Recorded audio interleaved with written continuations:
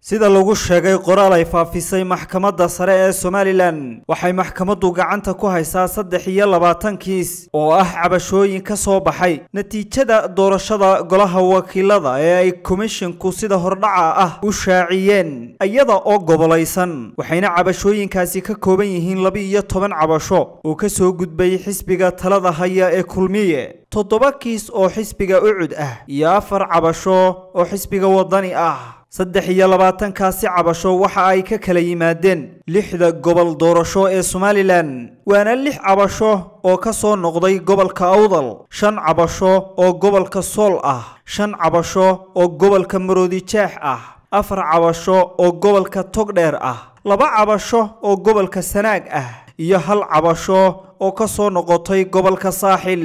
Maxkamadda sare waxa ay sheegtay inay durba guda gashay dhegaysiga. Cabashooyinkani soo gaadhay haddaba waxaynu warbixintan ku eegi doonaa dariiqooyinka sharciga ah ee loo eegayo cabashooyinkan iyo awoodaha xeerku siiyey maxkamadda sare ee somalilan.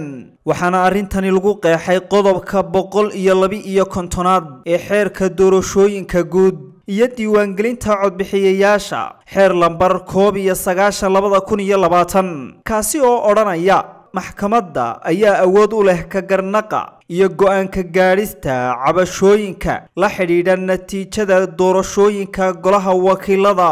Qof kasta oo cabasho ka qaba natiijada golaha wakiiladu waxa uu cabashadiisa u gudbinayaa maxkamadda sare afar iyo toban cisho gudahood oo ka bilaabmaysa maalintii lagu dhawaaqay natiijada rasmiga ah ee doorashooyinka golaha wakiilada. Si ay go'aan uga gaadho cabashooyinka soo baxa maxkamadda sare waxay awood u leedahay in ay amarto in la hubiyo waraaqaha codbixineed ama dib loo tiriyo codadka gobolka. Degmo ama goob codbixineed u yeedho markhaatiyo ama dalbato in dhukumentiyo maxkamadda la hor keeno dadweynaha u sahasho ka soo qaybgalka dhegaysiga dacwadaha. Maxkamadda sare waxay awood u leedahay inay soo saarto amaradan inay wax ka beddesho saamiga kuraasta loo kala helay. Waxba kama jiraan ka dhigto natiijada doorashada amartana in doorashada dib looga qabto. Gobol ama degmo gaar ah. Go'aanka maxkamadda sare waa kama dambaysta rafcaanna lagama qaadan karo. Wakhtiga dhegaysiga dacwadda guddoomiyaha maxkamadda sare waxa uu shaacinayaa arrimaha uu qodobkani jideeyey. Maxkamadda sare waa inay dacwadaha doorashada golaha wakiilada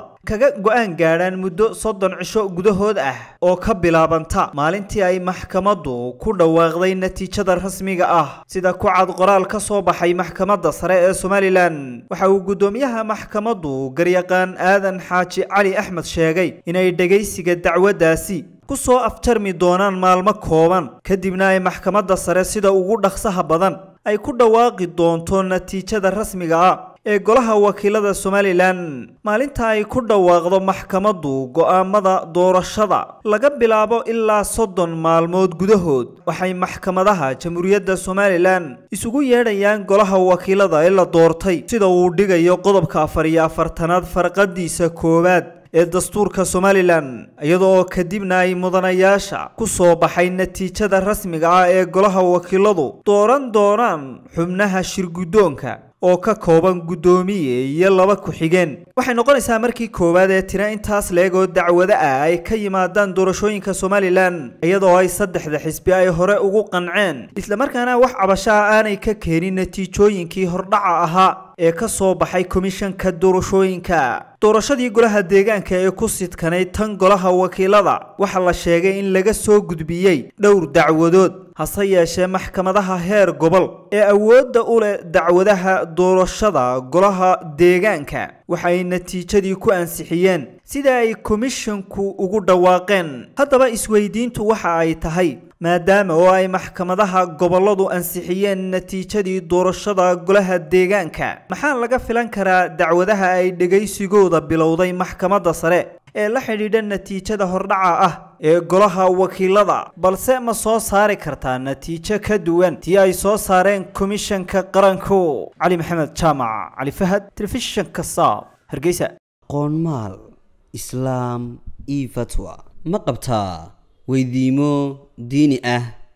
Ma doonaysaa moobilkaaga inaad ka barato casharo diini ah oo af soomaaliya? Islaam e waxaad ka helaysaa fatwa diini ah tafsiir xadiis fiqi siiro dhaqanka suuban ducooyin. Soo qor fatwa ama islaam una dir hal shan eber